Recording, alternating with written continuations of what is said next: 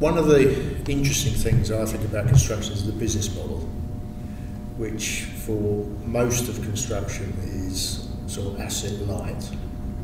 And of course, your model is the exact opposite, isn't it? You have to invest all this money in fixed assets Mhm. and Mm-hmm. employ lots of people. Mm-hmm. It's a different mindset, isn't it? Yeah, we're a manufacturer. We're not a, a- and that is a mindset I'm, I'm getting used to. We're a manufacturer. We're not a contractor or constructor. We're a manufacturer, and it's a different, it's a different model.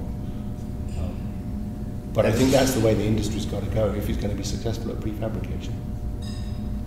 Well, I'm going to agree with you because one of the one of the differences between manufacturing and construction is construction relies on the market to come to them. Yeah. Um, here's an opportunity. Would you like a price for it?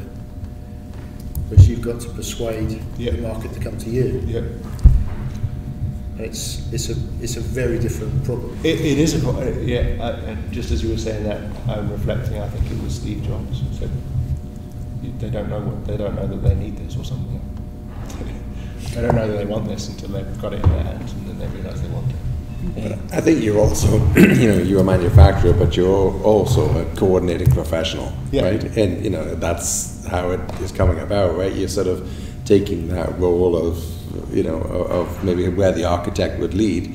You're leading, right? You know, and you're bringing the mm-hmm. architect and, and whoever else in, and so that's a certainly a very different role from a manufacturer, right? Mm-hmm. Which is a, you know, a single component part. You're actually acting as the Yeah. so I think that's the, the big Yeah. biggest difference I see in, in what you're doing right now.